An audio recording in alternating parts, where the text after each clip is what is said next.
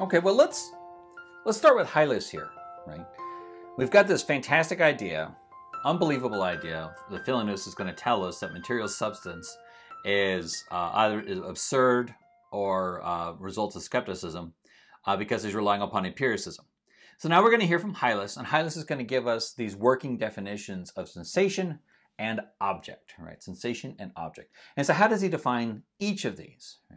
Uh, so, you know, sensation, Hylas says, is the act of the mind perceiving, right? Is an act of the mind perceiving. Okay. So we can uh, talk about our basic five senses, right? That's a great way to start talking about uh, sensation. All right. The other thing is the object. And the object, according to Hylas, is what is perceived. Right? That's what's perceived. and uh, so what he, uh, so uh, uh, you know, he gives this example. I think it's a tulip, right? Gives an example of a tulip perceives the colors and everything. And the object is the tulip. That's what's perceived. Okay. So Hylas also states that sensations are in the mind only.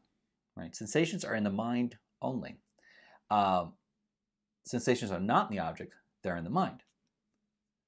Now, uh, Philonous at this point is probably saying, okay, sure, keep talking. Because Philonous is setting up a bit of a trap for Hylas in this regard.